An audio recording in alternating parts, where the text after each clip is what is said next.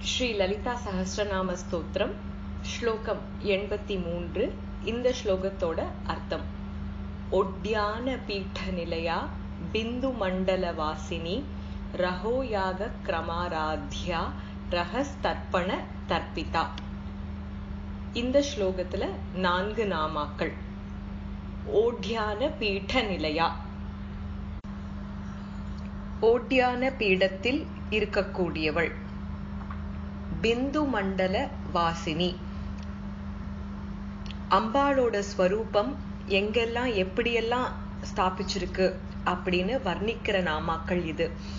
பிந்து மண்டல ஸ்தானம் அப்படிங்கிறது சிவசக்தி ஐக்கிய ஸ்வரூபத்தோட ஸ்தானம்.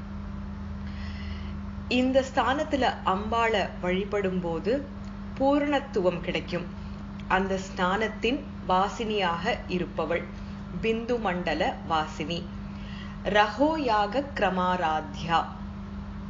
ரகசியமாக செய்யக்கூடிய யாகத்தின் மூலமாக ஆராதனை செய்யப்படுபவள் அம்பிகை.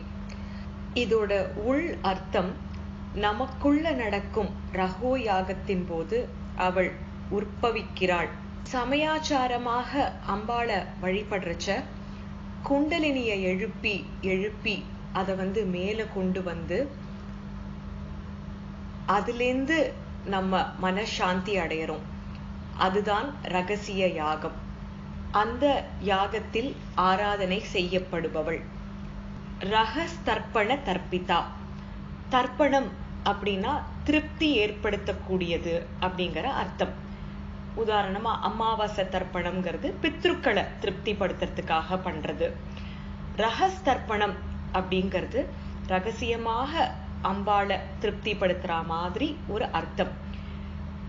இந்த இடத்துலயும் இதற்கு முன் வந்த நாமா மாதிரி குண்டலினிய மேல எழுப்பி சஹஸ்ர கமலத்துல வச்சு அந்த ஸ்நானத்துல அம்பாள் ஆனந்த நடனம் புரிஞ்சு நமக்கு பேரானந்தத்தை அளிக்கிறா.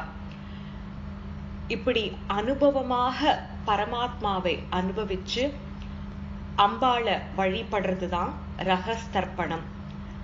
இப்படி ரகஸ்தர்ப்பணத்தால திருப்தி அடைபவள் அப்படிங்கிறதுனால ரகஸ்தர்ப்பண தர்ப்பிதா. ஒட்யான பீடத்தில் இருப்பவள் பிந்து மண்டலத்தில் வசிப்பவள் ரகசிய யாகத்தால் ஆராதிக்கப்படுபவள் ரகசிய தர்ப்பணத்தால் திருப்தி அடைபவள். இது எண்பத்தி மூன்றாவது ஸ்லோகத்தோட அர்த்தம்.